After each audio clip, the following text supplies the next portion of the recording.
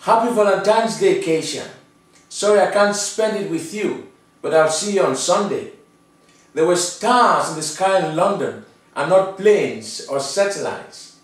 Lots of love from Alexander Francis William McCracken.